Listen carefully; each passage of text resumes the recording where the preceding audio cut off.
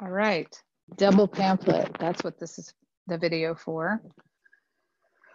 Okay, so this one you're going to need two of the sections that we created because this is a double pamphlet. It's a thicker book, and we're going to sew two, two pamphlets together.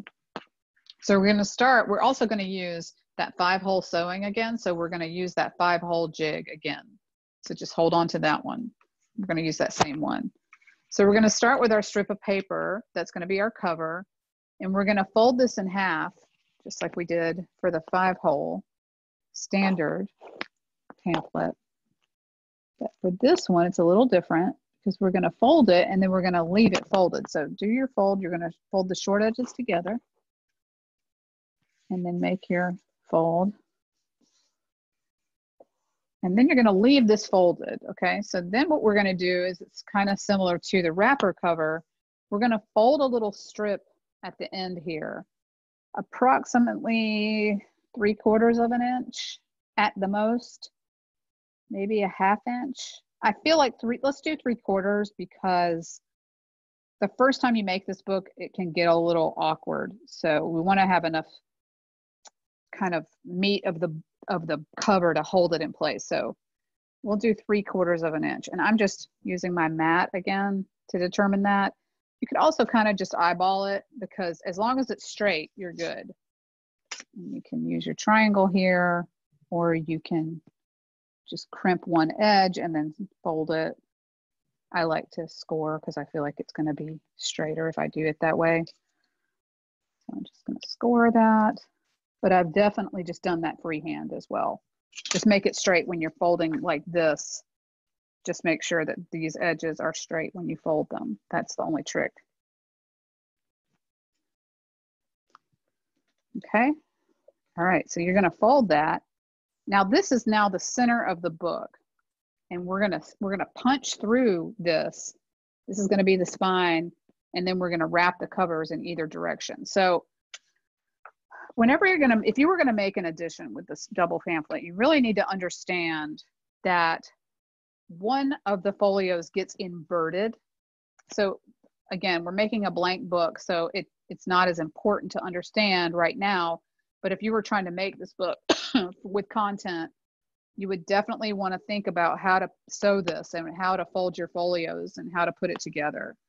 So one of these folios not folios sorry sections is going to go into that fold. So that one, that little flap that we made right here, that one's going to go in like that. So then the other one is going to wrap around. So you're going to open that up and it's going to wrap around the whole thing like that. So that's what it's going to look like. You can see right there. So you've got one nestled inside that little short fold and then one section wrapped around the outside like that over that fold. And then we're going to open to the center of that first one and punch through everything. So we're going to be punching through the center, the cover, and the other folio in the back. Okay, so make that little sandwich and so if you think about this, this is the center of the book. So this would be the front of the next, like if this were the end of that section, this is going to be the beginning, but it's on there inverted, if that makes sense. And it will make sense once you've made one, you would really under, you'll understand better what I'm saying because there's no content that really confuses the situation. But I just want you to be aware that if you decide to make this book, whether for it's for this project or for the future, that is a confusion that can happen and you would really want to be conscious of that. Okay, so we've got that center folio, we've got the little flap in the middle, and we've got that outer folio, and that's what we're gonna punch all the way through. So I'm gonna turn it so that I can get a handle on that, and then I've got my little five hole jig, and I'm gonna slide that into place, so now it's like, okay, here we go, guys. We got to punch through all this stuff. Now I'm going to take a second and just kind of squeeze and make sure that everything is lined up as well as I can get it, head and tail. Make sure nothing's sticking out all crazy at the top or the bottom. And I'm just trying to make sure everything's back, back, back into the fold, into the fold. Okay, so now I'm gonna start punching. And I'm gonna just, my main goal is to make sure I pierce through that last folio. So I'm gonna have to really give it some pressure, but don't, you know, don't freak out. Just be like determined and conscious of what you're doing and be firm. So I punched that first hole and I kind of can't look at what I'm doing. I just kind of have to hope. And I'm doing it by feel and I want to want to be able to feel a little bit of the mat. There's the third one. And these two at the end are the hard ones because it's almost like I have to flip my hold to the other side and yet still hold this in place.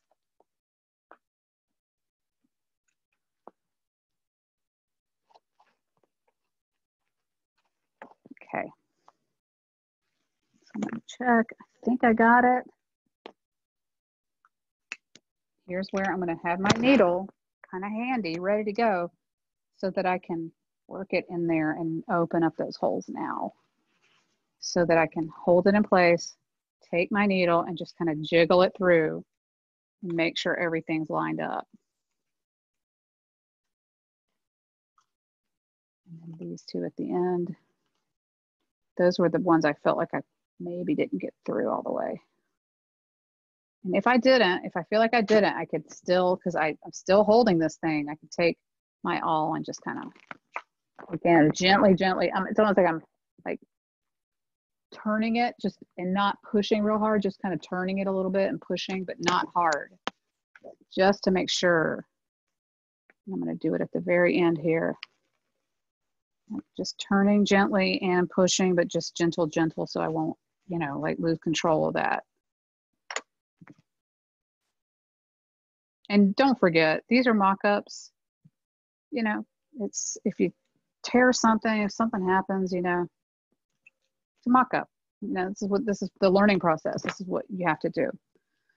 Okay, so now I do have to gently set this down and I need two and a half times the height of the book. For this one, because I'm the sewing is going to kind of show through at the cover when we open this back, I want to use a lighter thread. So I'm going to use my white thread. So I'm going to do two and a half times the height.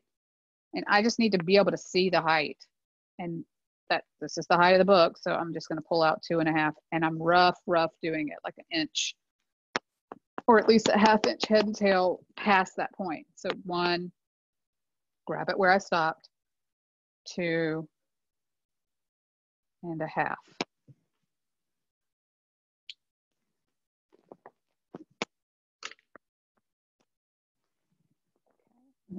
My needle. And for this one to sew really doesn't matter which side you do it on because for this structure, the stitching is going to be either on one side or the other it's going to be inside one of these two folios or one of these two sections. I don't know why I keep saying folios right now. It's getting late, getting late in the day. So I usually start on the inside. I don't know why. Uh, it just, I don't know. I guess because it's down, it's a valley and it just feels like I, I think I can go in there better than I can go this way. But you could start out here if that feels more comfortable to you.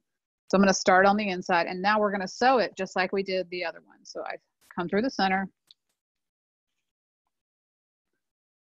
and I'm sewing through everything. Now I'm going to hold that tail. Okay. Now I'm going to go through the next hole.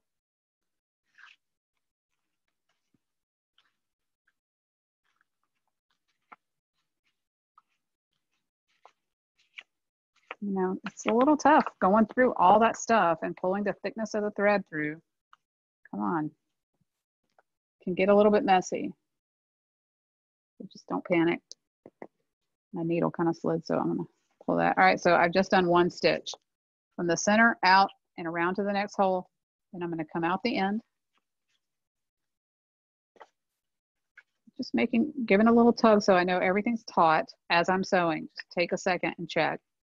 Make sure you're sewing it taut. I'm gonna go back in that hole.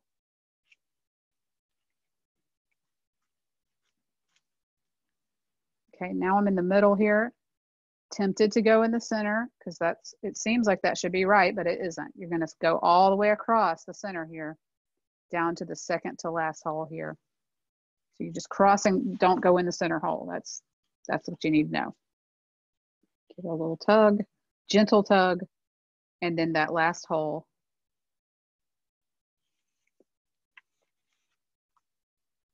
This is when I can kind of let go of that center thread. I can let go of that.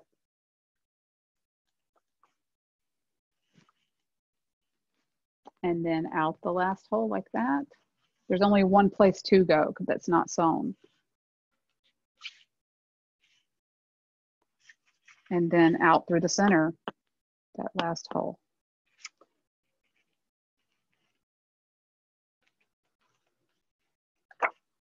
And now I'm back where I started. And I want my needle to come out, if possible, on the other side. If it doesn't, just tuck it under with the needle, no big deal. And I can take my thread, my needle off the thread, and then I'm gonna tie my knot, just like I've done. Left over right.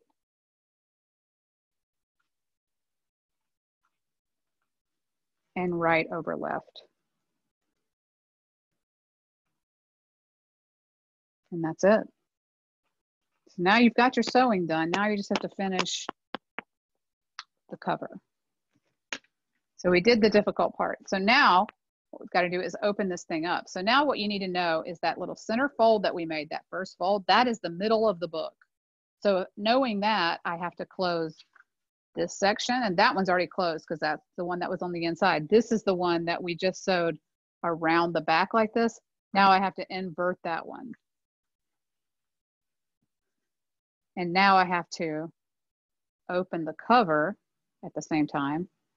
Because if you see, this is the center of the book. This is my front and back cover. So it's like I'm closing this folio, but I'm also wrapping that cover around.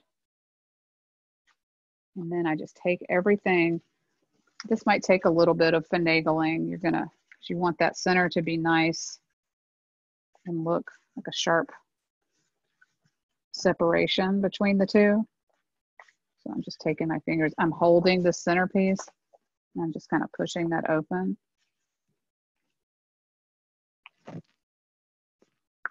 And then there's my two, fold, two uh, sections.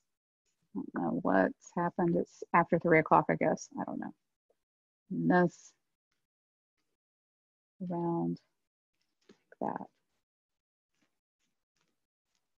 And that's your double pamphlet. So now you can see, that's why I wanted to use that white threads because you can kind of see the thread where it pops through right there. So that's really cool. Like if you have like a color, like a red thread or yellow.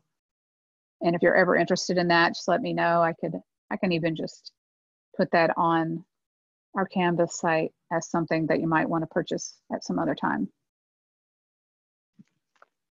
But they have nice linen thread like this. This is the same brand and it comes in a lot of colors.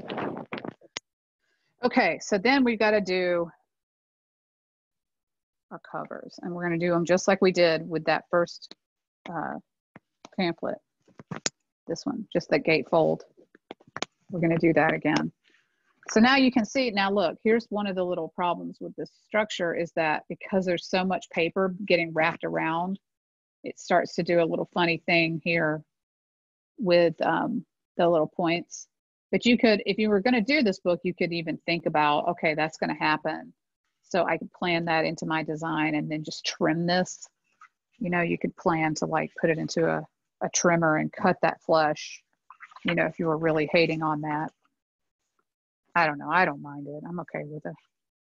The edge not being flush. These are handmade books. They're not machine made. Okay, so then I'm going to close that text block like we did. You can hear my dog complaining about whatever.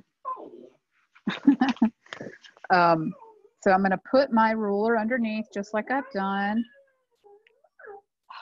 She's like wanting to join in the conversation, I guess. Ellie.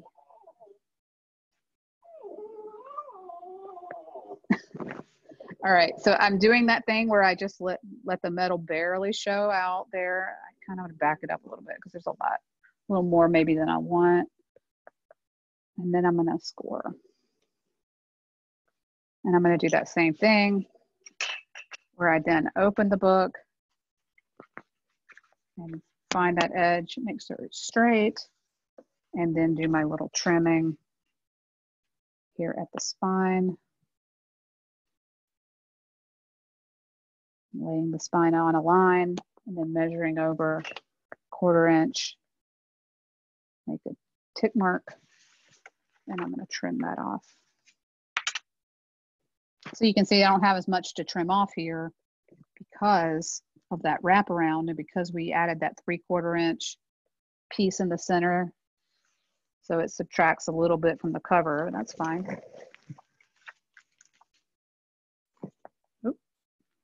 A little bit shaky right there. If that happens and you don't, feels like it's crooked, just straighten it up. You still got time because you used the finger pressure and not bone folder yet. and then you're going to do the other side just the same that we did before, where you stick the middle roller underneath.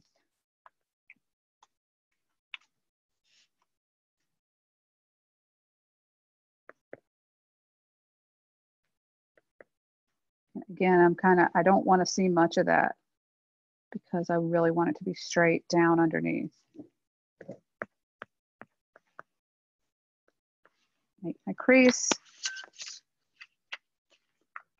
make my fold,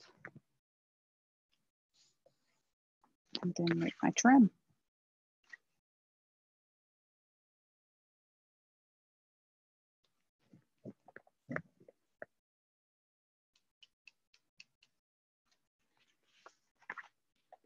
And that's it. Now you've got your double pamphlet.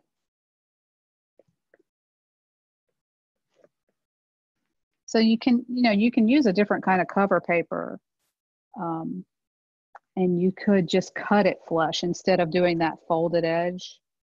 I've definitely seen that on any of these pamphlets.